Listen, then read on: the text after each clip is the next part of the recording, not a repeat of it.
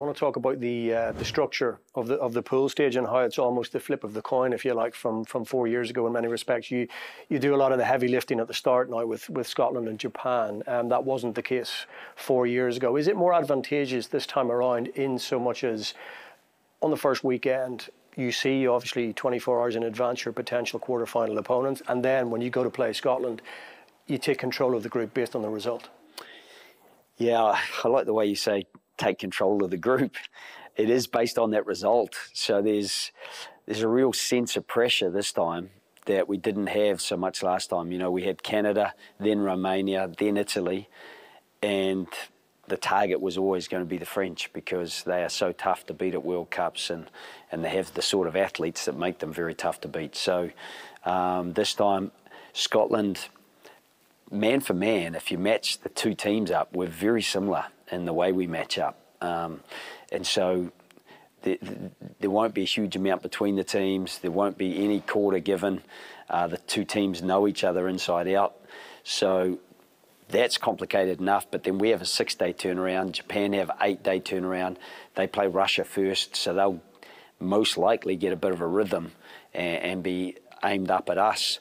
They'll be able to sit back 48 hours later and watch our match knowing that they've already recovered and, and they're ready to go, while we'll be recovering from that that big hit out that Scotland will be. So, um, if we can negotiate those first two games, I'm going to say, yeah, that that's a good way for the pool to be. If we don't, then you know, then you're immediately you're in trouble which probably leads me on um, fortuitously to the fact that I suppose you're going to have to beat all the teams if you want to get to where you want to be ultimately, which is the the very high standards you set yourselves. I mean, what is what would quantify success at the World Cup for for you? Well, uh, I think just getting through that quarterfinal stage, what what this team have managed to do is is set new benchmarks. You know, they've won in the last six and a half years. They've won three quarters of the games that they've played pretty much.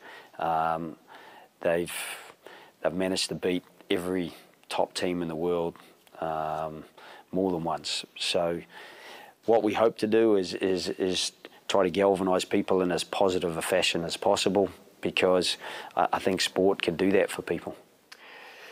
I don't want to bring the curtain down before the final act because very often we save a lot of the drama for the final act. But obviously, um, your chapter this current chapter is, is coming to an end after the World Cup.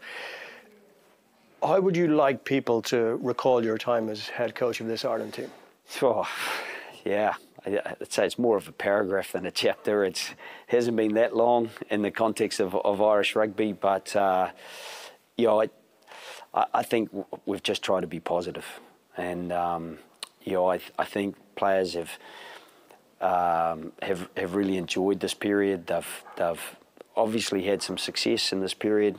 Uh, three out of six Six Nations, um, getting the Grand Slam, beating the other teams that that that were mentioned earlier. But um, even more so, I, would love people to remember it because of just the different moments that have been compiled, um, and and some of them are before kickoff. You know, I, I thought that figure eight that the that the boys did in Chicago. I, thought was really special, especially, you know, knowing Axel, uh, the Munster guys at the front of it. Um, again, I, would like to think that people will remember capture moments like that.